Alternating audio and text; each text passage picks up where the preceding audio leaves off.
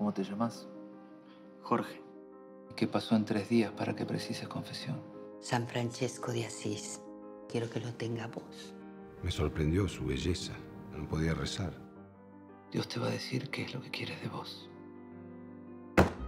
Teología, latín, más teología. ¿Qué tiene de malo que sea cura? ¿Qué tiene de bueno que sea cura? Usted es Bergoglio, el arzobispo de Buenos Aires. Esta ciudad vanidosa y pecadora necesita llorar. Me lo saqué, padre. Me lo saqué. Mi pueblo es pobre y yo soy uno de ustedes. La factura de las vestiduras de arzobispo. Esto es una locura. No, no, voy a usar las de cuarrachino. Pero le van a quedar enormes, padre. Yo te felicito, Jorge. Este tipo sabe lo que quiere. No voy a tener nietos. No vas a tener hijos. Te vas a quedar solo. Solo. Curas deberían poder casarse, ¿no? Él para que para tener una suegra. Debe tener enemigos muy poderosos. Los tengo.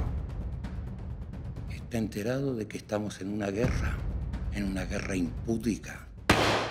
Sugerirle que afloje un poco con el tema de la corrupción, nada más que eso. ¿Usted cree que me voy a callar por miedo?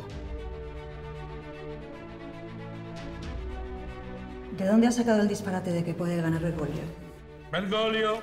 ¿Quién te dice que al final termina siendo el nuevo papa? Bergoglio.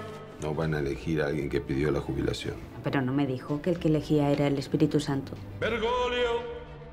Él puso al Evangelio en su sitio, el sitio de la lucha contra la pobreza. Habemus Papa.